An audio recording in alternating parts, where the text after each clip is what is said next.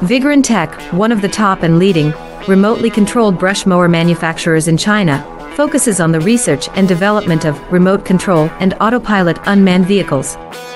Remote control lawn mower is our current main product, widely used in lawn mowing and weed cutting, suitable for orchard, steep incline, front yard, wasteland, wildfire prevention, swamp and so on.